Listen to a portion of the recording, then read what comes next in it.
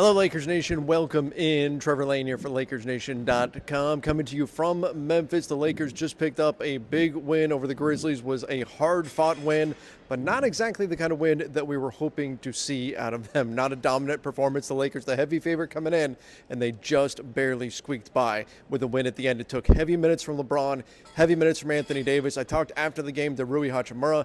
He was not happy with the effort that the team showed, their focus. In fact, he even said they're messing around. Check out what Rui had to say. Nice game. Um, I think even lead by as much as 13 in the second quarter. Then the Grizzlies chopped away at it. Eventually took lead in the third. You guys took over from there. What's the dynamic like when you're playing against a team that's playing a lot of younger players or you know, two-way guys or you know 10-day guys? Maybe just signed rest season contracts. What's that dynamic like, and how much are you aware of that before the start of the game? Yeah, you guys, uh, as you guys see, you guys saw tonight. You know, they literally had nothing to lose. You know, they, they just play hard. You know, they trying to handle, you know, their contract. This is Lakers. You know, for them it's like a playoff game.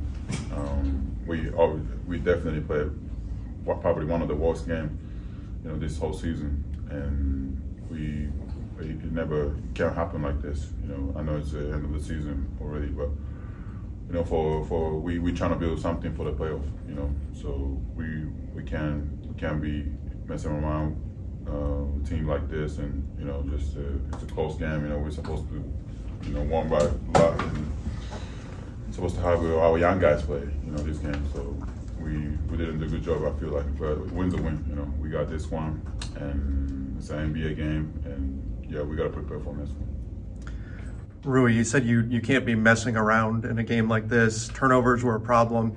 Was that a, a lack of focus, do you think, or what was the source of that? Yeah, for sure. Yeah, just a, just we were loose, we were loose today. You know, um, offensively we were kind of, you know, we didn't really share the ball. I feel like we were just like, you know, um, just moving around. You know, just didn't.